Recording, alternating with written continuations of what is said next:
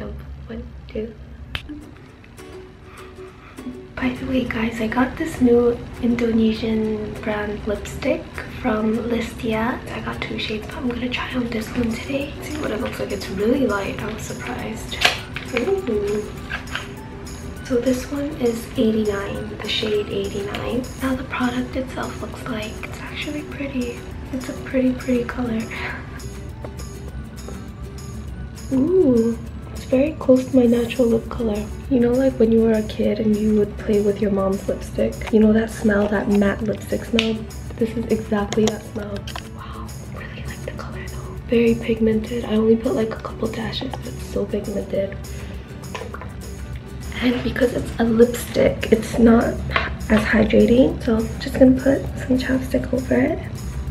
Pretty cute. Next time I wouldn't apply as much product, but so without further ado, let's read the quote of the day. Today's quote says, this quote I got from a book actually called Big Magic by Elizabeth Gilbert. And in this book, there was this quote that says, So many of us believe in perfection, which ruins everything else, because the perfect is not only the enemy of the good, it's also the enemy of the realistic, the possible, and the fun. Because people strive to be perfect so much that many people, they give up before they even try because they believe that they can't do it. But the thing is, perfection doesn't exist, right? Don't strive to be perfect, guys. Just do what you can do every day and that's gonna add up to big things. So don't quit before trying. A very toxic way of thinking. Don't underestimate you guys. You guys all have potential to do big things. But yeah, I'm gonna finish packing.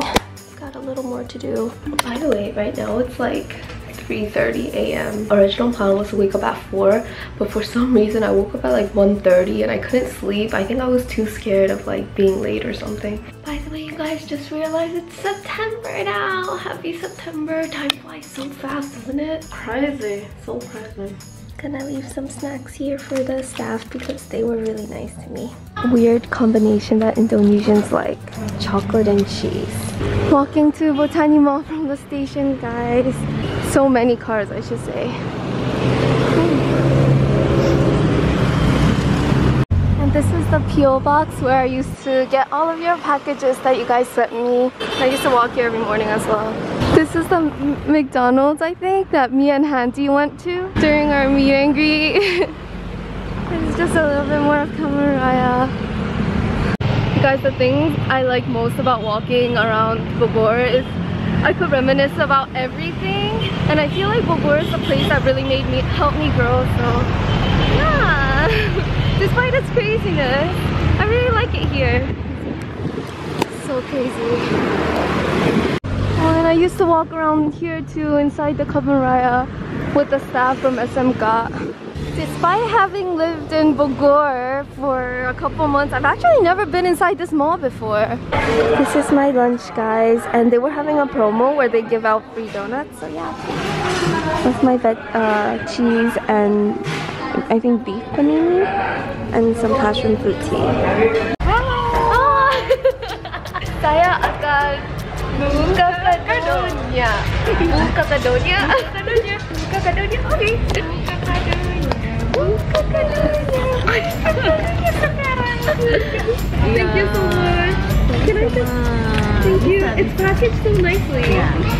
He doesn't know what, what kind. There is the car.